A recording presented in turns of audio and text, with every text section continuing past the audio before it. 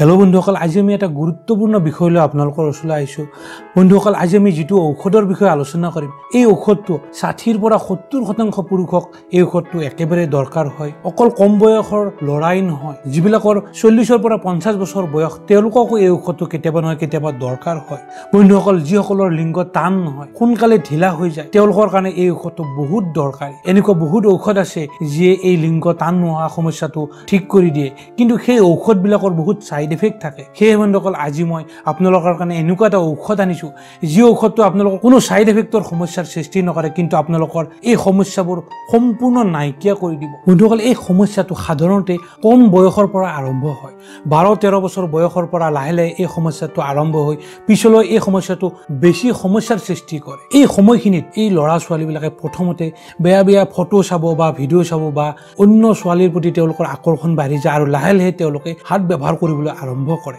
আৰু এনেকৈ তেওঁলোকৰ শৰীৰত ইয়াৰ প্ৰভাৱ আৰম্ভ হয়। তেওঁলোকে যেতিয়া খুব বেছিকৈ হাত ব্যৱহাৰ কৰে তেতিয়া ইয়াৰ প্ৰভাৱ তেওঁৰ শৰীৰৰ ওপৰত পৰে। তেওঁৰ শৰীৰটো দুৰ্বল হৈ যায় আৰু লাহে লাহে যেতিয়া তেওঁ এই অভ্যাসবোৰ খুব বেছিকৈ কৰে দিনত দুবাৰ তিনিবাৰলৈ তেওঁলোকে এই অভ্যাসবোৰ কৰিবলৈ ধৰে তেতিয়া ইয়াৰ প্ৰভাৱ তেওঁলোকৰ লাহে লাহে মগজুৰ ওপৰত পৰে। অৰ্থাৎ তেওঁ পাহৰি যোৱা বেমাৰত পৰিণত হৈ যায়। অৰ্থাৎ তেওঁ যিকোনো বস্তু পাহৰি যায় সোনকালে তেওঁৰ শৰীৰ দুৰ্বল হৈ যায় সোনকালে তেওঁৰ লিংগ থিয় নহয় বা তেওঁৰ মনত এই ভাৱবোৰ থাকে কিন্তু তেওঁৰ মনত এই ভাৱবোৰ থাকে। তেওঁ বেলেগ স্ত্ৰীৰ প্ৰতি আকৰ্ষিতও হয় তেওঁ মিলন কৰিবলৈ যায় কিন্তু তেওঁ ভাল পাৰফৰ্মেঞ্চ দিব নোৱাৰে। তেওঁ সোনকালে তেওঁৰ ৰস বাহিৰ হৈ যায়। অৰ্থাৎ তেওঁৰ লিংগটো খুব বেছিকৈ থিয় হৈ নাথাকে টান হৈ নাথাকে। সোনকালে তেওঁ দুৰ্বল হৈ যায়। চ' বন্ধুসকল এই সকলোবিলাক সমস্যাৰ কাৰণে এই ঔষধটো কেলাডিয়াম হৈছে। আটাইতকৈ গুৰুত্বপূৰ্ণ ঔষধ। ইয়াৰ ছাইড এফেক্ট একেবাৰেই নাই। আপোনালোকে কেনেকৈ খাব লাগে কি হিচাপে ব্যৱহাৰ কৰিব লাগে সকলোবিলাক কথা এই ভিডিঅ'ৰ জৰিয়তে আপোনালোকক বুজাই দিম। চ' বন্ধুসকল এই ভিডিঅ'টো আপোনালোকে শেষলৈকে চাই থাকিব। আৰু লগতে বন্ধুসকল আমাৰ এই চেনেল যদি আপোনালোকে ছাবস্ক্ৰাইব কৰা নাই তেনেহ'লে এতিয়াই ছাবস্ক্ৰাইব কৰক। আৰু লগতে এই ভিডিঅ'টো এটা লাইক দি এই ভিডিঅ'টো সম্পূৰ্ণকৈ চাওক। বন্ধুসকল এনেকুৱা কিছুমান ল'ৰা আছে যিয়ে জীৱনত একেবাৰে হাত ব্যৱহাৰ কৰা নাই। কিন্তু তথাপিও তেওঁলোকৰ কিন্তু এই সমস্যাবোৰ আহি পৰে।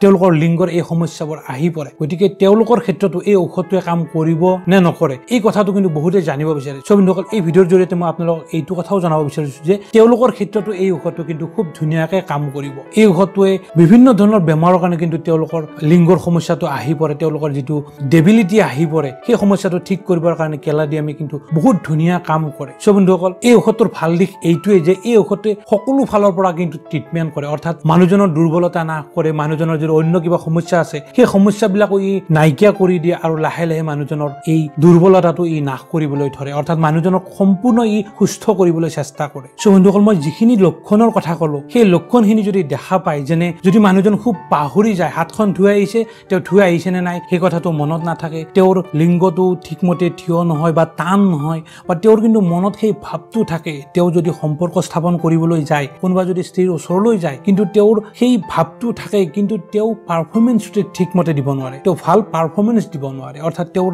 লিংগটো টান নোহোৱাকৈ তেওঁৰ ৰসটো বাহিৰ হৈ যায়। চ' বন্ধুসকল এনেকুৱা ধৰণৰ যদি সমস্যা আপোনালোকৰ গাত আছে এনেকুৱা ধৰণৰ সমস্যা যদি আপোনালোকৰ বন্ধুবৰ্গৰ কাৰোবাৰ তাত আপোনালোকে দেখা পাইছে তেনেহ'লে এই ঔষধটো ব্যৱহাৰ কৰিব দিয়ক। আপোনালোকৰ সেই সকলোবোৰ সমস্যা ই দূৰ কৰি দিব আৰু আপোনাক এজন সুস্থ মানুহলৈ পৰিণত কৰিব। চ' বন্ধুসকল সকলো মানুহৰ এটা প্ৰধান লক্ষণ হ'ল মেণ্টেল ছেটিছফেকশ্যন যেতিয়া মানুহজনে মেণ্টেল ছেটিছফেকশ্যন নাপায়। অৰ্থাৎ কাৰোবাৰ লগত যেতিয়া সম্পৰ্ক কৰিবলৈ গৈ তেওঁ যেতিয়া ছেটিছফাই নহয় তেতিয়া তেওঁলোকৰ শাৰীৰিক মানসিক এনেকুৱা নানা ধৰণৰ সমস্যাবিলাক আহি পৰে। সেয়ে আপোনালোকে যদি সম্পূৰ্ণ ছেটিছফাই হ'ব বিচাৰে তেনেহ'লে এই ঔষধটোৱে কিন্তু আপোনালোকক বহুত কাম দিব। এই ঔষধটোৱে আপোনালোকৰ লিংগৰ সেই মাংসপেশীবিলাক টান কৰিব। লগতে পুৰুষৰ সকলো দুৰ্বলতা ই নাশ কৰিব আৰু আপোনাক এজন সুস্থ মানুহলৈ পৰিণত কৰিব। যদি আপুনি এই ভিডিঅ'টো চাই আছে যদি আপোনাৰ গাত এই লক্ষণবোৰ আছে তেন্তে আপুনি গম পাব যে আপুনি কেলাডিয়ামৰ পেচেণ্ট কেলাডিয়াম আপোনাক একেবাৰে দৰকাৰ। আছে। চ' বন্ধুসকল মোক বহুতে কমেণ্ট কৰিছিল মোৰ পৰা জানিব বিচাৰিছিল যে তেওঁলোকে কোনোবা ছোৱালী বা কোনোবা মহিলাৰ ফালে যদি চায় তেওঁলোকৰ সোনকালে ৰসটো বাহিৰ হৈ যায় বা তেওঁলোকে যদি গাৰ্লফ্ৰেণ্ডৰ লগত কথা পাতে ফোনত যেতিয়া কথা পাতিব তেতিয়াও কথা পাতি থাকোঁতে তেওঁলোকৰ ৰসটো বাহিৰ হৈ যায়। চ' বন্ধুসকল এনেকুৱা ধৰণৰ যদি সমস্যাত আপোনালোকে পৰি আছে তেনেহ'লে কেলাডিয়াম হৈছে আপোনালোকৰ কাৰণে একমাত্ৰ ঔষধ। কিন্তু বন্ধুসকল এই ক্ষেত্ৰত আপোনালোকে মনত ৰাখিব লগা কথা এইটোৱেই যে আপোনালোকৰ যিটো সমস্যা হৈছে এই সমস্যাটো কিন্তু আপোনালোকে নিজে নিজে সৃষ্টি কৰা। আপোনালোকৰ নিজৰ কিছুমান ভুলৰ কাৰণে এই সমস্যাটো হৈছে। গতিকে আপোনালোকে যদি এই ঔষধটো খাই আৰু আপোনালোকে আগৰ দৰে অভ্যাসবোৰ ৰাখে তেনেহ'লে এই ঔষধে কিন্তু কেতিয়াও কাম নকৰে। এই ঔষধবিলাকৰো লিমিটেড এটা পাৱাৰ থাকে। চ' বন্ধুসকল যদি আপোনালোকে নিজে ইচ্ছা কৰে যে আপোনালোকে সেই অভ্যাসবোৰ ত্যাগ কৰিব আৰু লগতে এই ঔষধটো যদি ব্যৱহাৰ কৰে তেতিয়া আপোনালোকক কিন্তু হাণ্ড্ৰেড পাৰ্চেণ্ট এই ঔষধটোৱে কাম দিব। অৰ্থাৎ আপোনালোকে এই ঔষধটো ব্যৱহাৰ কৰক আৰু আগৰ যিবিলাক অভ্যাস আছে এই অভ্যাসবিলাক আপোনালোকে ত্যাগ কৰক। তেতিয়া ঔষধটো একেবাৰে খাটাং আপোনালোকৰ কাম কৰিবই। আৰু লগতে বন্ধুসকল আপোনালোকক কৈ থ'ব খোজো যে এই ঔষধটোৱে কিন্তু মহিলাকো কাম দিয়ে। মহিলাসকলৰ যদি এনেকুৱা ধৰণৰ চিমটমছবোৰ আছে। আৰু লগতে মহিলাসকলৰ অন্য এটা চিমটমছ দেখা যায় যে মহিলাসকলৰ যোনিৰ ফালে খুব খুজুতি হয় আৰু মহিলাগৰাকীয়ে যেতিয়ালৈকে শাৰীৰিক মিলন নকৰে তেতিয়ালৈকে তেওঁ কিন্তু শান্তি নাপায়। অৰ্থাৎ তেওঁ ৰাতি টোপনিও তেওঁ ভালদৰে মাৰিব নোৱাৰে তেওঁলোকৰ খুব খুজুতি হয়। এই যদি লক্ষণটো মহিলাৰ ক্ষেত্ৰতো যে এই খুজুতি অহা লক্ষণটো থাকে তেনেহ'লে তেওঁলোকে এই ঔষধটো ব্যৱহাৰ কৰিব পাৰে আৰু তেওঁলোকেও কিন্তু খুব ধুনীয়াকৈ কাম কৰিব। মহিলাসকলৰ এই খুজুতি হোৱা সমস্যাটো প্ৰেগনেঞ্চিৰ সময়তো হয় গতিকে সেই ক্ষেত্ৰত কথাটো বেলেগ। এনেই যদি মহিলাসকলৰ এই সমস্যাটো হয় তেওঁৰ খুব খুজুতি হয় যেতিয়ালৈকে তেওঁ মিলন নকৰে তেতিয়ালৈকে শান্তি নাপায়।